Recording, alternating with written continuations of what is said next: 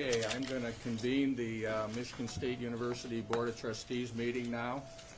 Um, The the board has a a resolution before it that contemplates two actions. First, accepting the resignation of President Lou Anna Simon, and second, appointing an acting president. I'd like to make a a few comments before the resolution is read. Uh, The board excuse me, the board will engage a comprehensive national search for the next president of Michigan State. As a part of that process, we will seek input from the MSU community, including faculty, staff, students, and alumni. Because a national search will take some time, the board will appoint an interim president. It is our desire that the interim president will be someone external to the university. Because the timeline for making this appointment is short, we will seek input from the leadership of academic governance, representing the faculty, and from the board's student liaisons representing the students. Until an interim president can be selected, the board must appoint a person to immediately serve as acting president. We expect that this appointment will be for a short duration of time, lasting only as long as it takes, takes us to seat the interim president. It is the, uh, it is the appointment of this acting president upon which we will act today. Uh, Trustee Byrum, as Chair of the Policy Committee, uh, will you please read the resolution? Thank you, Chairperson Breslin. Whereas Lou Anna K. Simon has tendered her resignation as president to the Board of Trustees, and whereas the Board of Trustees accepts her resignation as president effective immediately, and whereas the Board of Trustees has already commenced its search for an interim president, now therefore be it resolved that Bill Beekman is hereby appointed the acting president of Michigan State University, commencing immediately and continuing until the board appoints an interim president. And be it resolved that Mr. Beekman is hereby granted authority as acting president and during his appointment as acting president to discharge all duties and responsibilities of the president of Michigan State University under the university's bylaws, the resolutions of the board, university policies, otherwise under the law, and be it resolved that the chairperson of the board is hereby authorized to execute such documents and agreements as may be necessary or appropriate in connection with the implementation of the foregoing, with a copy provided to each member of the board. As chairperson of the policy committee, I move that the board hereby accepts the resignation of President Lou Anna K. Simon and appoints Bill Beekman to serve as acting president under the terms and conditions set forth above. There's been a motion and uh, support. All those in favor, please say aye. Aye. All those opposed? Hearing none, the motion carries. Uh, Congratulations, Bill. Well, thank you, trustee Breslin, uh, and thanks to the uh, Board of Trustees for uh, your confidence in, in me in this uh, hopefully very uh, short period of time as we go through the process of uh, selecting a, an interim president to, to begin, to begin our, our process anew. So, thank you very much. I now have a statement that I'm going to read on behalf of the Board of Directors and, uh, or on the Board, the Board of Trustees. And um, after that, we will have a time for uh, individual trustee uh, comments. First and foremost, we apologize to the victims of Larry Nassar. One after another, they spoke out bravely and in open court last week. They asked for their voices to be heard, for responsiveness, and for action. We acknowledge their voices and say to the survivors, their families, and everyone in our community affected by the sexual violence that we recognize that change is overdue. It is also clear to MSU that MSU has not been focused enough on the victims. Our hope is that there will be an opportunity soon to resume a dialogue with counsel for the, for the victims to reach a fair and just resolution. The board today discussed the following points and authorized the following actions. We must also acknowledge that there have been failures at MSU, not only in our processes and operations, but in our culture. And we are united in our determination to take all necessary steps to begin a new day and change the environment at the university. The board has initiated a process to bring in an independent third party to perform a top-to-bottom review of all of our processes relating to health and safety in every area of the university and to provide recommendations on actions that we will implement to change the culture of MSU on this important issue. We understand that the survivors, their families, and the public have many questions about the Nassar matter. We have asked Attorney General, the Attorney General's office to conduct a review of the events surrounding the Nassar matter. Today, we are calling on him to conduct his review in in an expeditiously manner, as uh, expeditiously as possible, and to appoint an independent third party to promote bipartisan acceptance of the results. Again, we are committed to taking the right actions to create a culture that provides a safe environment for all members of our community, and the transition to new leadership will be a key component in helping us to change course. The board will play an integral role in these efforts and in making MSU a leader here and nationally in preventing sexual abuse. We cannot change the past, but we can and will devote our time and resources to foster healing and move forward together. Um, It wasn't originally planned, but um, we, uh, member of the faculty, Deb- Deborah Moriarty, would like to make a comment, and so we acknowledge you. Thank you very much for allowing the faculty to speak, and thank you very much for the resolution that includes the faculty in the search for an interim president. That is very, very important, and the faculty um, will be happy to be part of that. Um, I also want to thank Bill Beekman for taking on what is certainly a huge, huge task at a time that is very difficult for all of us. So just thank you very much for the support of the board, for the faculty. Again, it's outside the norm, and I don't think any of you, the student leaders, expected to make a comment, but we didn't expect to include the, the faculty. If any of you would like to make a comment, um, now's your opportunity. I uh, echo the same comments that Dr. Moriarty made, and I look forward to working with Acting President Beekman and uh, being involved with the interim search process. Okay. I have, um, I've read a board statement, and then we are now going to move to individual trustee statements. And I want to emphasize, the board statement is a statement of the board. These are statements uh, of individual uh, trustees. So trustee Mosallam, we'll start with you, and I guess end with me. I'm sorry. To the courageous survivors, the victims of the largest sex abuse case in American history, I am so truly sorry. We failed you.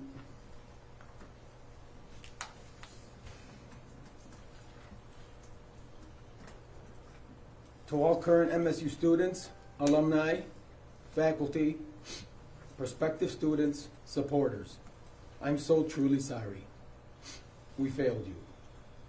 This board has come across as tone deaf, emotionless, and lacking empathy. It has infuriated me. I am so truly sorry. We have failed you. Because of the hero- heroism of Rachel Den Hollander, Lindsey Lemke, Katie Lorincz, and all the other survivors, a serial predator has been given his death warrant. From Judge Aquilina. And for the first, first time in over a decade, this university will have a new president and athletic director.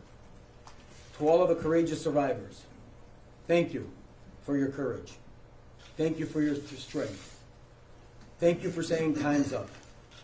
There are no words to express the regret that I feel in my heart for the pain you must feel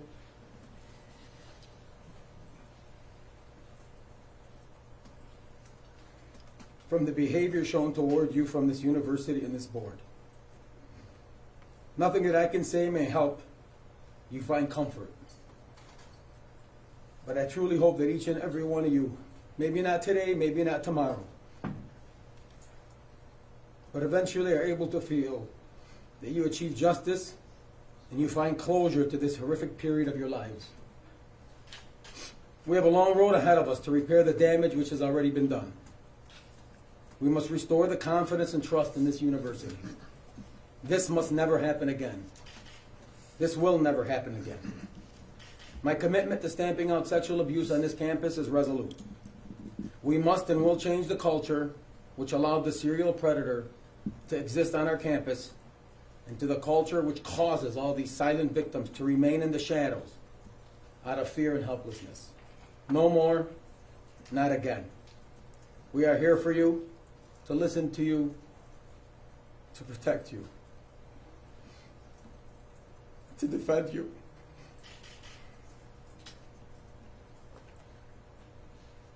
We as a university need to define who we are. I alone cannot do this. The trustees alone cannot do this. Together, students, faculty, alumni, trustees must begin a conversation around who we are and what it means to be a campus that says never again.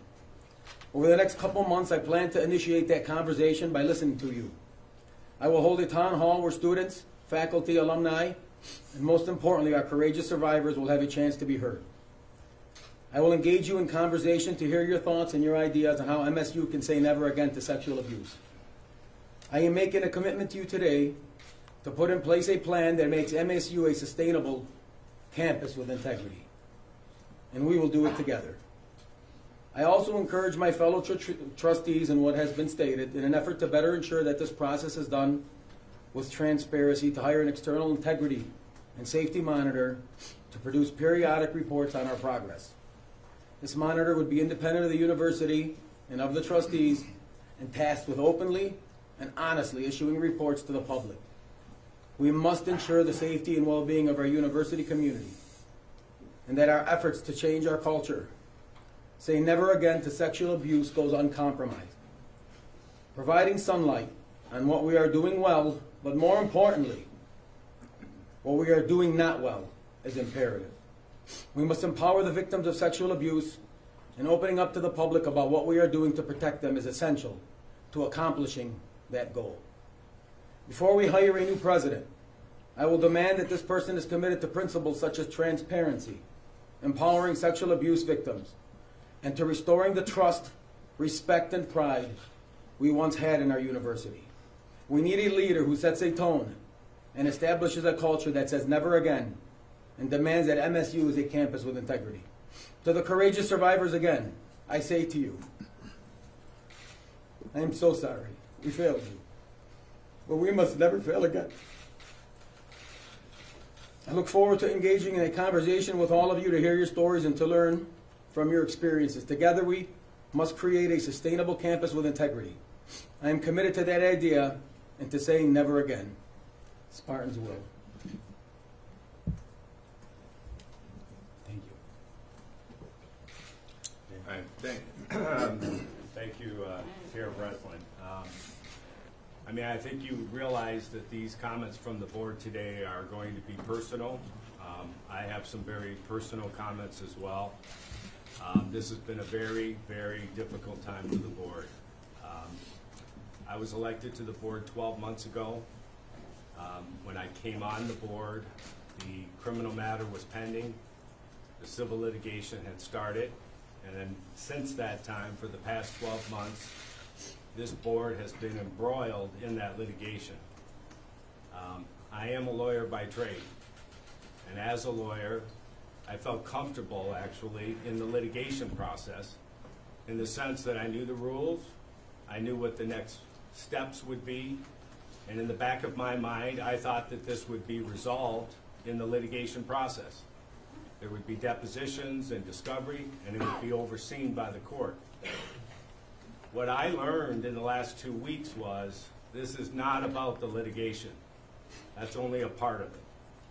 What this is about is the culture of MSU, and I'm embarrassed to say that I learned that from, in some cases, young teenage women who testified in front of a court, who showed the courage to not hide behind the litigation and to actually testify and in some cases state their names with regard to this abuse. I watched that and that changed me.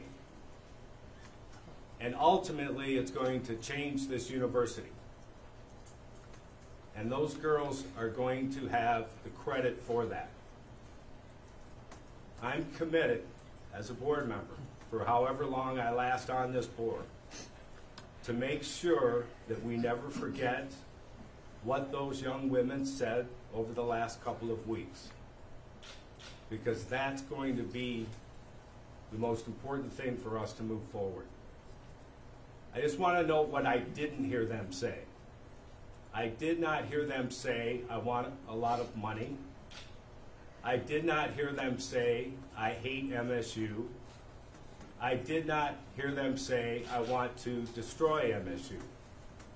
In most cases, what I heard them say was, I want to love MSU again. I want to be a Spartan again. I don't want you to hate me. So, all I can say is, I don't hate you. This university doesn't hate you. I am proud of you. You will change this university, and you'll change it for the better. Um, my final comments are this. I am, I am not an MSU grad. I actually have a hard time saying that I'm a Spartan because I know what that means to my daughters. It's a very special thing to them. And that's what we took away from a lot of these girls, was their pride in this university. And we've got to find a way to give that back to them. All right, thank you. The voices of 156 young women were heard over seven days in court. Many of their names and faces are now familiar to me, as they are to most of you, and their stories are played over and over again in my mind. Last week, I sat in court and listened to their stories unfold. I am sorry. I am sorry that a person who called himself a Spartan, a person that you trusted, inflicted such harm on his victims under the guise of medical treatment. The university has been unresponsive to your cries.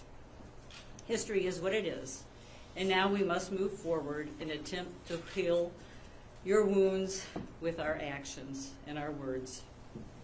Chairman Breslin just shared with you the willingness on the part of the board for our, our legal counsel to work toward a fair and just resolution with the victims. As a member of this board, I'm committed to making this campus safe from predators, rape, and other unwilling acts. I am inviting victims to help us work collaboratively at MSU in, invol- in being involved in this cultural shift. AG Bill Schuette has committed to a thorough investigation of MSU and plans to announce the details of such next week, once all victim statements have been heard. I encourage the AG's investigation to include a review of our policies and procedures. We need the truth. We need to know what went wrong, and going forward, to instill an environment on this campus that will never, ever, ever allow such behavior to go unchecked again. Again, to the victims and those who surround and love them, I am sorry. I'd also like to add that earlier today, we learned of Mark Hollis's um, retirement as athletic director. Mark Hollis is a man of integrity and a true Spartan. He caused us to think out of the box with his creative spirit. There are so many counts today, but this is a very, very sad chapter in our history.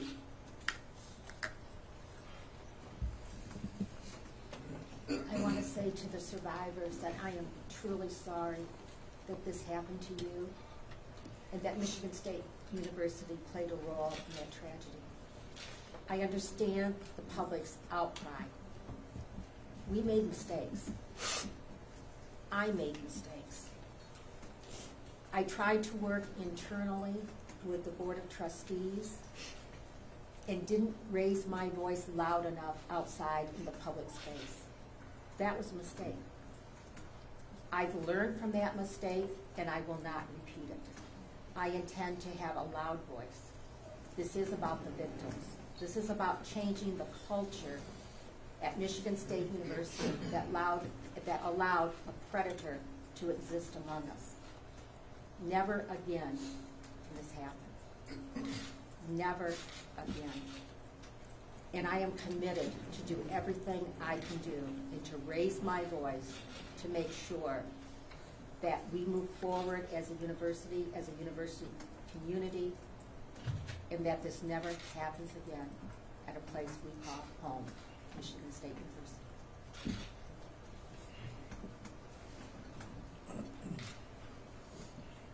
God bless you all. Those victims, the compassion we have for them, you'll never know. I'm at board meeting, talking to these board members. They talk from the heart, and they will protect you, they will protect this university. We love our home here. We love our university like loyal people do. We're awful sorry for the trouble we've caused those poor women. And we'll make sure everything in our power that never happens again. Good luck and God bless you again. I'm sorry to the survivors, their parents, their siblings, their future spouses, their current spouses. I'm sorry that MSU failed them. It's hard for me as a father to fully grasp how this, how this went unchecked for over 20 years. And it's not, it's not that we can just point a finger at one button and push and say that's it. And um, I don't know that we'll ever fully understand because I don't know what goes through people's minds. But I do look forward and committed to finding out the who, what, why, where, and when. What went unchecked, who knew what. In my heart of hearts, I really do not believe anybody here thought that Larry Nassar was the monster that he is except for, unfortunately, the survivors. And no one heard their voice. And uh, that's tough to, tough to take as a father myself. So I'm sorry for, for that. The focus of this board, it's easy to go back and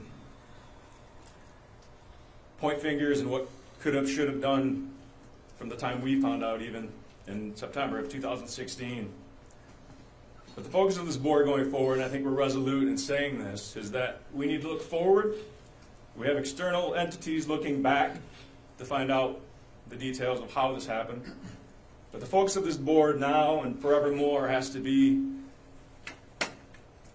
to, under, to understand what we need to correct in order to ensure this never happens again.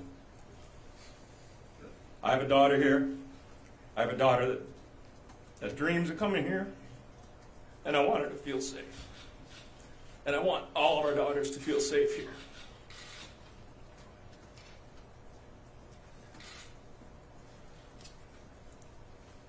MSU needs to be better than this, and we will be.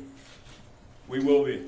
It's going to take time to earn the trust back, but we're, we're going to be better. And uh, I just, my thoughts and prayers are to the, the survivors and their families, and I'm, I'm just glad they stood up and, and stopped this monster. Thank you. I first want to state that without even talking about a interview that I shouldn't have taken when I was asked to, because that week, this week, it should have been only about the victims and survivors. And for that, I greatly apologize. I've been, on my degrees in elementary education, I walked in here and I guess the first person I saw and hugged was my daughter. And I have three daughters and a wonderful granddaughter. And I'm very committed to, I always have been to my daughters and to young ladies in my degrees in elementary education. And I came here after being a school teacher. And for that, I very much apologize for beyond my choice of words. But what I more apologize for is my having a wrong emphasis.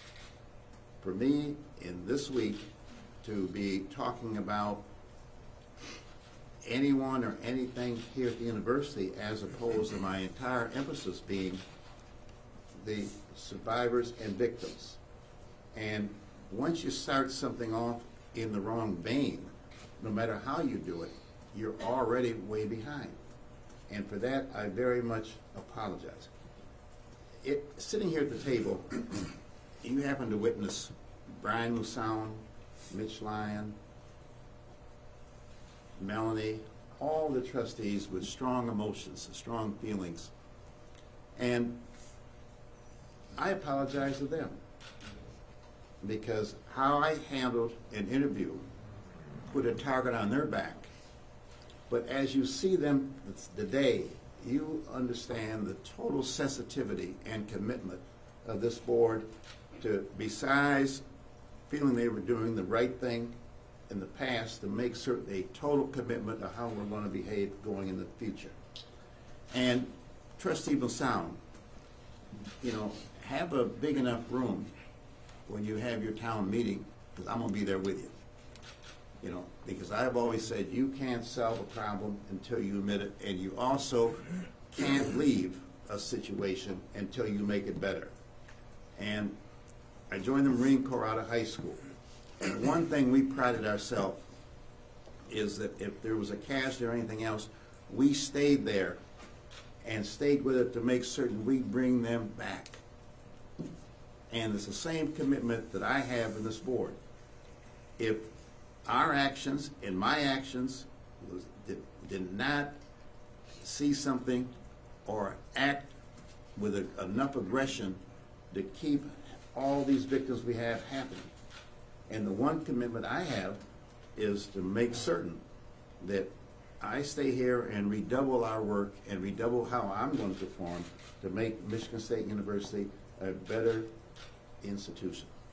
And all I'm saying is that I'm truly sorry for our collective inaction, and I'm sorry for my inaction. And the statement is by the board has made today is outstanding. And so I just want to say that we're going to do much better, and we're going to make Michigan State a poster child of how we deal with sexual abuse going forward. And I'm eager to work with the student leaders. I'm eager to work with everyone to make this happen. Thank you.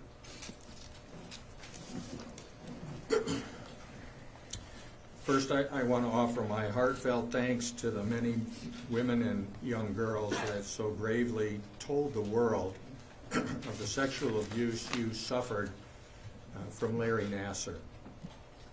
There's no way in the world that I can know the emotional pain you're experiencing and suffered.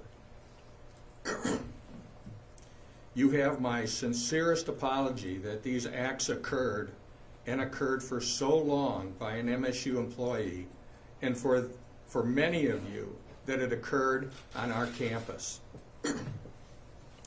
you have heard us say that we will work to ensure that this never happens again. Well, for me, that is an acknowledgement, and I acknowledge it, that our university has flaws in its processes, procedures, and lines of communication. We need and will get a thorough review from top to bottom in these areas, and then we need and will take the necessary actions to correct them. It is my belief that in the months ahead, some of the victim survivors could assist us in that work. It's my belief, my hope, that this is one pathway that MSU can be a part of in the healing process for the victims. To that end, the focus for MSU needs to shift from lawsuits to pursuing the right decisions to genuinely participate in helping victims and survivors with your healing. It was clear from the testimony, much of which I watched and listened to and read about, that part of your healing objective was knowing that changes would be institutionalized here and elsewhere, but particularly here at MSU, to protect future generations of children from sexual predators. MSU has an opportunity to assist victim survivors in achieving that objective. I want to take this opportunity to ask the Attorney General to announce his investigation as soon as possible. I'd ask that for his, I'd ask for his assistance be, because we believe he is best positioned to provide a thorough review and report on who knew what and when. And in doing so, we will help identify where and why we had failures. To assure the, to assure the public that the investigation is viewed as free of politics, I ask him to consider appointing a neutral, independent party to conduct his investigation. I believe this step will further the victim's healing process and help restore public confidence. And so I'll now end where I started. You have my apology to the victims and survivors, and my thanks for your courage in telling your stories. That's the end of my statement, personal statement. Mr. Beekman? With no other uh, action coming before the board, uh, we'll have a motion to adjourn would be in order. All in favor? Aye. We stand adjourned.